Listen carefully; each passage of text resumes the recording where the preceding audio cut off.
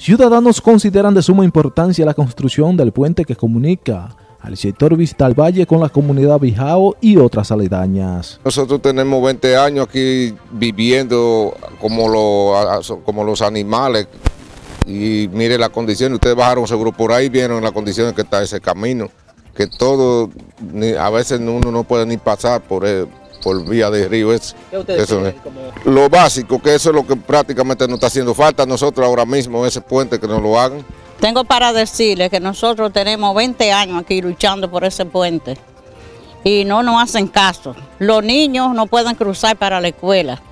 Cuando ese río se bota, tenemos que cruzar por aquí, por Atillo o por Bijao arriba, porque estamos aquí huérfanos de, no nos hacen caso y hemos luchado mucho y que lo van a hacer, que lo van a hacer, que ya en este año y que en el otro, y nunca, nunca nos hacen caso. Yo me dedico a vender verdura para esta zona, vengo frecuente a vender verdura y eso es que cuando no se puede subir ni bajar por ahí, yo no vengo para acá a vender por la, por la situación de que hace falta el puente. Que cuando toca hay una javinita, entonces pone demasiado malo ese camino, no nos puede ni pasar.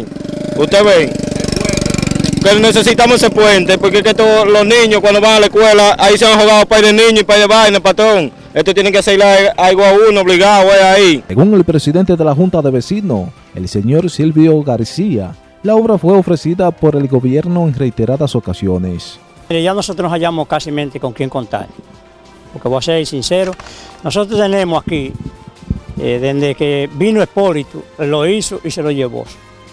Yo mismo, mi persona, Silvio, ha ido a atender a las capitales de Luis Chao, a Leonel entregado eh, carta, yo mismo personalmente.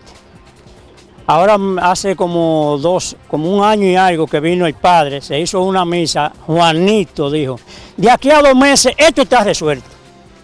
No sé si es que él no se ha dado cuenta cuando los meses pasan o qué es lo que está pasando.